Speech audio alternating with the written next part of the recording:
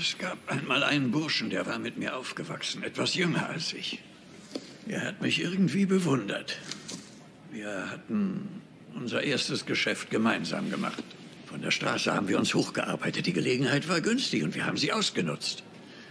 Während der Prohibition schmuggelten wir Melasse nach Kanada und machten ein Vermögen, Ihr Vater auch. Diesen Mann, den ich meine, hatte ich gern wie einen Bruder und ich vertraute ihm. Eine Weile später hatte er die Idee, in der Wüste eine neue Stadt zu bauen als Zwischenstation für Soldaten, die auf dem Weg zur Westküste waren. Sie kannten diesen Mann, er hieß Mo Green. Und aus der Stadt, die er aufbaute, wurde Las Vegas. Er war ein großer Mann. Mann mit Fantasie und Courage. Und es gibt nicht einmal ein Bild oder ein Denkmal, nicht einmal eine Straße, die nach ihm benannt wurde in dieser Stadt.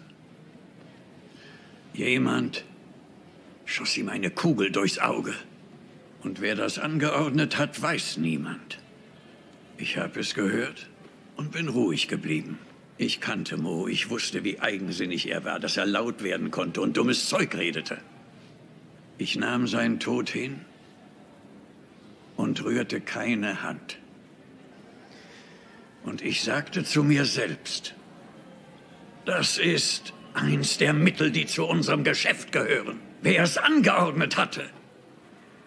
Danach habe ich nicht gefragt, weil es nichts zu tun hat mit unseren Geschäftsbeziehungen.